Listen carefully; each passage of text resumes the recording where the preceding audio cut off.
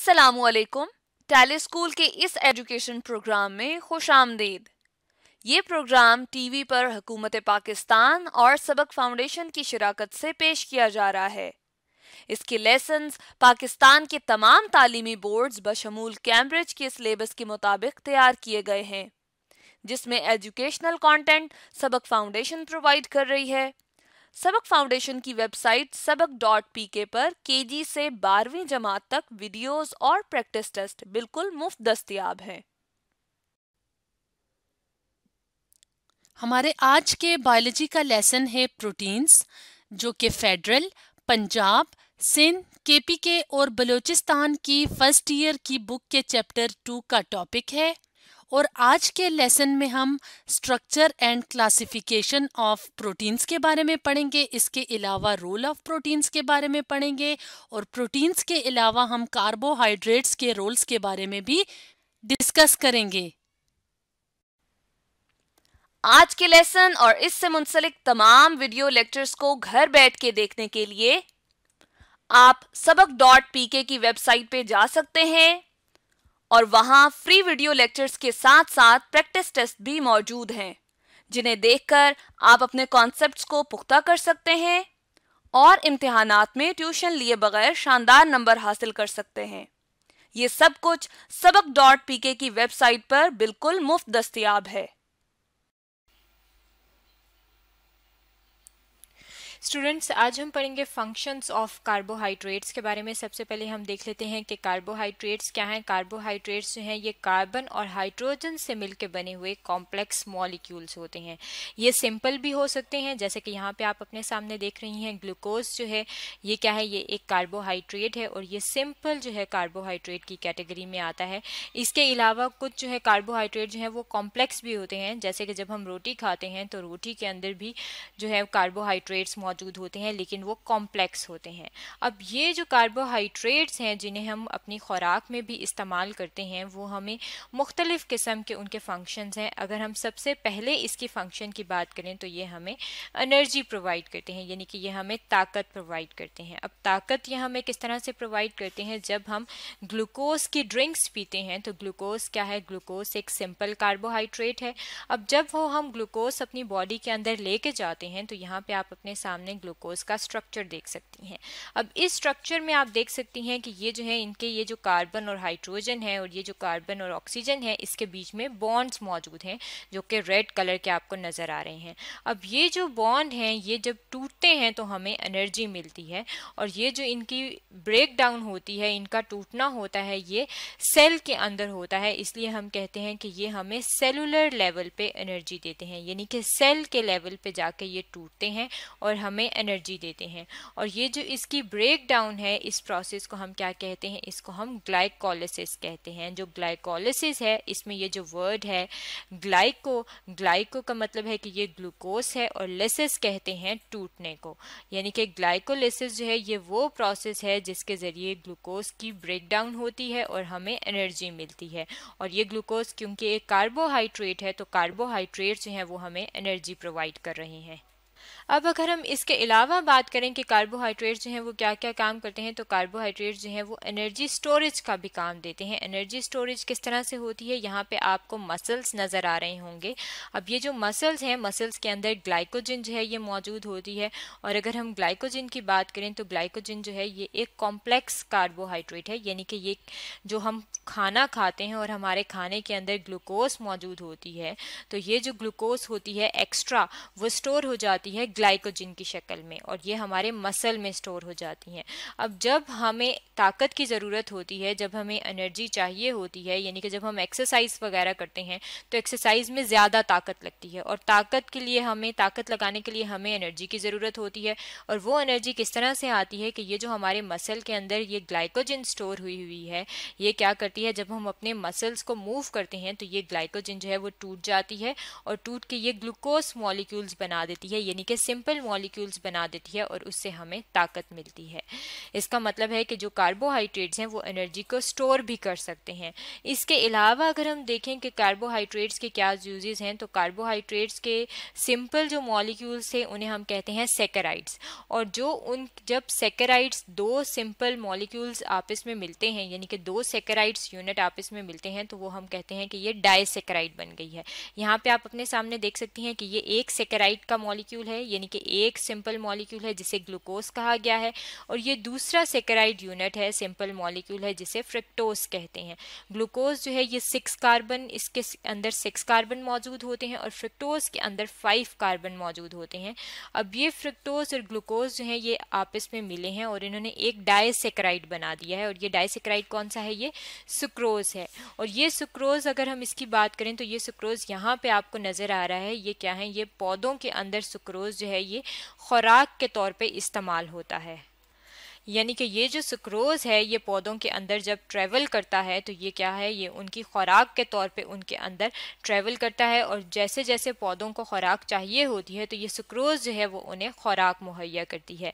अब disaccharide sucrose जो है, इसके अलावा भी बहुत सारे डायसेक्राइड के मॉलिक्यूल्स हैं। अगर हम उनको देखना चाहें तो सबसे पहले जो है, वो हम अपने सामने एक लिस्ट ले आते हैं, जिसमें हम देख लेते हैं कि कौन कौन से डायसेक्राइड हैं।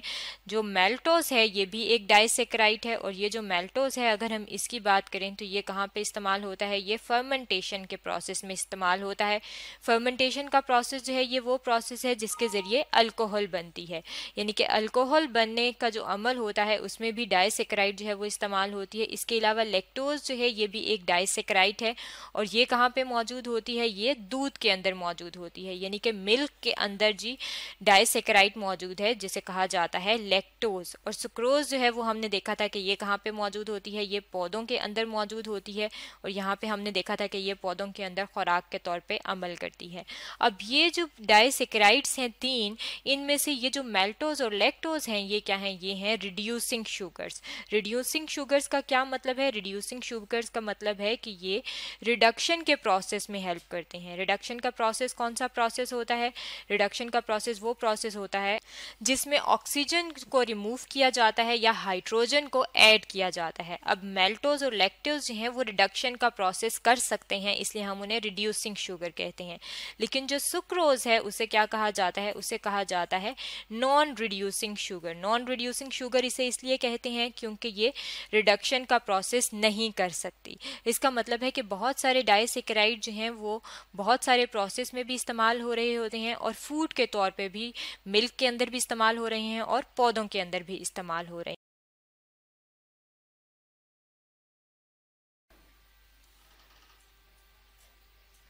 स्टूडेंट्स आज हम पढ़ेंगे स्ट्रक्चर ऑफ़ प्रोटीन के बारे में। सबसे पहले हम देख लेते हैं कि प्रोटीन क्या है। प्रोटीन जो है, ये ऐसे कॉम्प्लेक्स मॉलिक्यूल हैं जो कि अमाइनो एसिड से मिलकर बने होते हैं।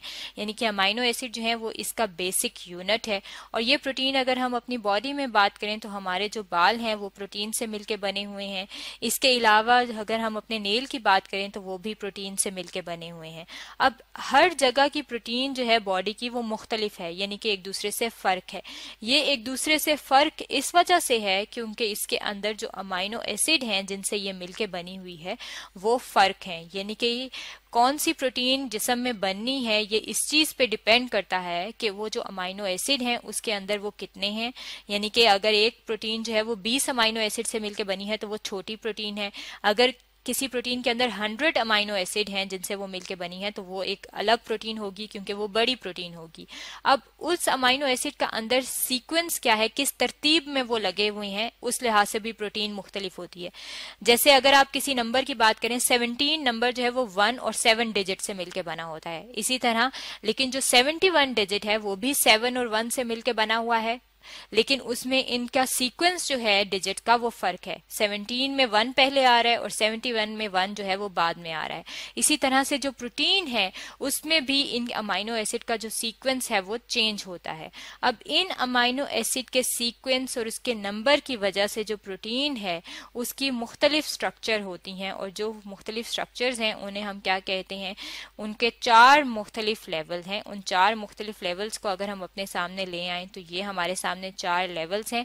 एक को कहा जाता है प्राइमरी स्ट्रक्चर प्राइमरी स्ट्रक्चर वो होती है जो सबसे बेसिक होती है, जो फ़र्स्ट स्टेप पे होती है।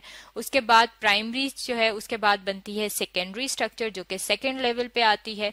टर्शरी स्ट्रक्चर जो है, वो तीसरे नंबर पे आती है और क्वार्टनरी स्ट्रक्चर जो है, वो फोर्थ नंबर पे आती है। यानी कि ये जो फोर्थ वाली है, ये सबसे ज़्यादा कॉम्प्लेक्स है। जैसे जैसे आप वन से टू और थ्री और फोर की तरफ़ जाएँगे तो प्रोटीन की जो स्ट्रक्चर है, वो ज़्यादा कॉम्प्लेक्स होती जाएगी। इसका मतलब है कि जो प्राइमरी है वो बिल्कुल सिंपल होती है। सबसे पहले अगर हम प्राइमरी स्ट्रक्चर की ही बात कर लें कि प्राइमरी स्ट्रक्चर की प्रोटीन कौन सी है तो हमारी बॉडी में एक चीज़ होती है जिसे कहा जाता है इंसुलिन यहाँ पे अगर आप अपने सामने देखें तो ये आपको इसके नज़र आ रहे हैं, ये इंसुलिन का स्ट्रक्चर है।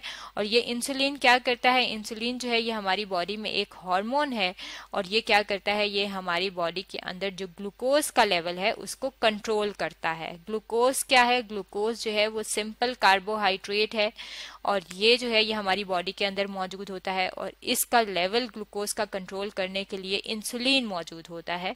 अब ये इंसुलिन अगर आप देखें इसके स्ट्रक्चर की तरफ़ तो ये जो है, ये एक प्रोटीन है और ये किस चीज़ से मिलकर बनी हुई है? अमाइनो एसिड से मिलकर बनी हुई है और इसके अंदर 51 अमाइनो एसिड शामिल है।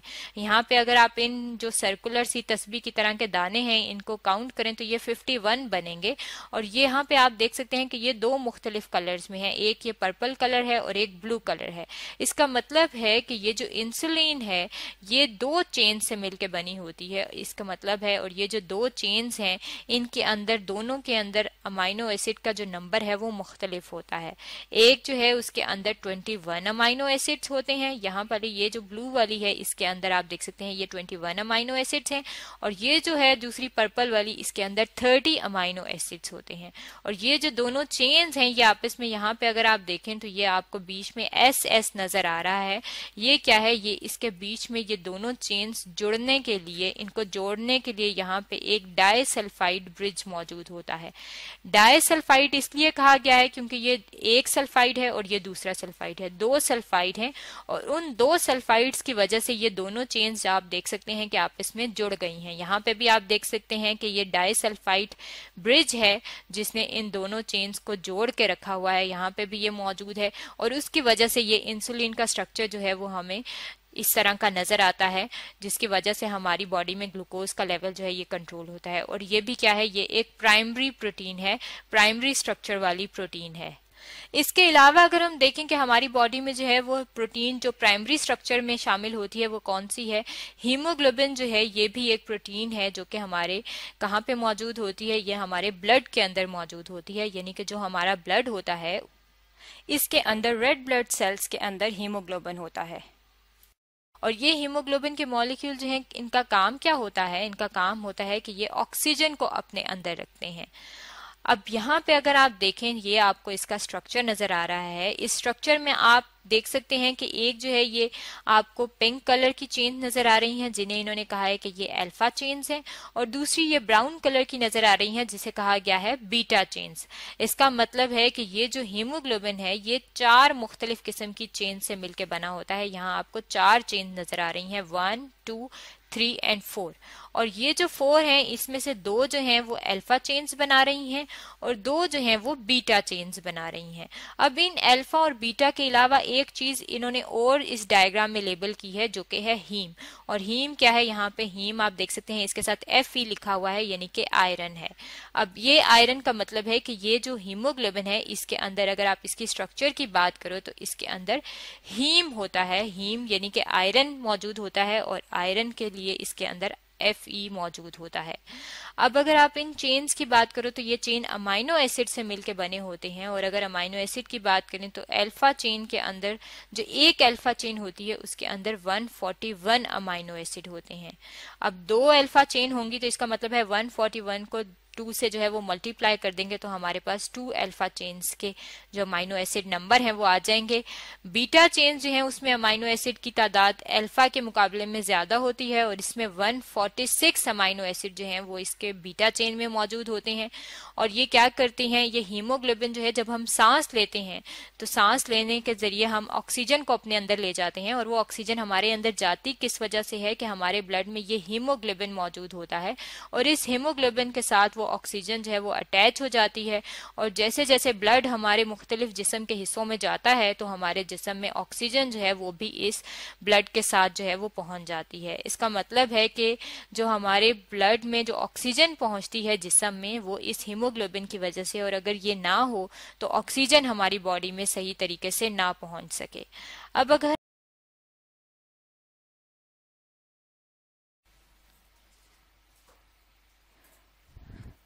स्टूडेंट्स आज हम पढ़ेंगे क्लासिफिकेशन ऑफ़ प्रोटीन के बारे में। सबसे पहले हम देख लेते हैं कि प्रोटीन क्या है। प्रोटीन जो है बायोलॉजिकल मॉलिक्यूल हैं, यानी कि ऐसे मॉलिक्यूल्स हैं जो कि लिविंग ऑर्गेनिज्म के अंदर पाए जाते हैं। यहाँ पे अगर आप अपने सामने इस डायग्राम की तरफ़ देखें तो इस डायग्राम में आपको ये गर्ल के जो है, ये हेयर नज़र आ रहे हैं। अब ये हेयर जो है, ये प्रोटीन से मिलकर बने होते हैं। इसके अलावा भी हमारी बॉडी में बहुत सारी चीज़ें ऐसी हैं जो कि प्रोटीन से मिलकर बनी है। यानी कि अगर हम अपने नेल्स की बात करें तो ये भी प्रोटीन से मिलकर बनी हुई है। अब ये जो प्रोटीन है, अगर हम इनकी बात करें तो ये इनकी स्ट्रक्चर जो है, वो अलग होती है और इनके अंदर बहुत ज़्यादा वेरिएशन पाई जाती है, यानी कि इनके अंदर बहुत ज़्यादा डाइवर्सिटी पाई जाती है। इसी स्ट्रक्चर की वजह से हम कहते हैं कि जो प्रोटीन है, वो दो किस्म की हैं। अब अगर हम इनकी टाइप्स की बात कर लें कि वो दो किस्म कौन कौन सी हैं तो एक को कहा जाता है फाइब्रस प्रोटीन और दूसरे को कहा जाता है ग्लोबुलर प्रोटीन सबसे पहले जो है, हम देख लेते हैं फाइब्रस प्रोटीन्स के बारे में यहाँ पे ये जो आपको हेयर की प्रोटीन नज़र आ रही है, ये फाइब्रस प्रोटीन होती है। फाइब्रस प्रोटीन क्यों कहा जाता है? क्योंकि ये बिल्कुल जिस तरह से फाइबर होता है थ्रेड लाइक धागे की तरह का बिल्कुल उसी तरह से इसकी स्ट्रक्चर होती है। यहाँ पे ये आप इस डायग्राम में देखें, ये जो बाल हैं, ये यहाँ पे इनको मैग्नीफाई करके, बड़ा करके दिखाया गया है। और जब इसमें से सिर्फ़ एक का निकाला गया है, एक की स्ट्रक्चर देखी गई है तो ये आप देख सकते हैं कि ये बिल्कुल धागे की तरह है थ्रेड लाइक है। एक येलो थ्रेड है और एक ये पिंक कलर का थ्रेड है। और ये दोनों जो थ्रेड हैं, ये आपस में ट्विस्ट हुए हुए हैं। यानी कि इसका मतलब है कि जो फाइब्रस प्रोटीन होती हैं, उनके अंदर प्रोटीन जो होती हैं, वो थ्रेड लाइक होती हैं और वो ट्विस्टेड होती हैं।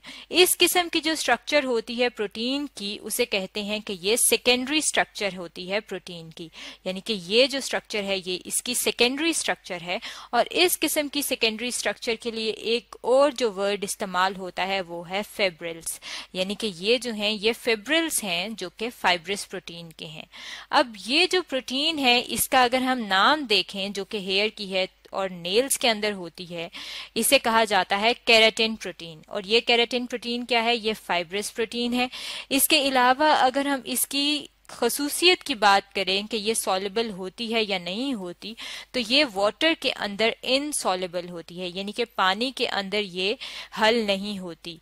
पानी के लिए हम लिखते हैं यहाँ पे एक्वस यानी कि ये एक्वस मीडियम में हल नहीं होती। इसीलिए जब अगर आप बालों को पानी में डालेंगे तो वो उसके अंदर हल नहीं होते। इसलिए हम कहते हैं कि जो भी फाइब्रस प्रोटीन है वो इनसॉलेबल हैं।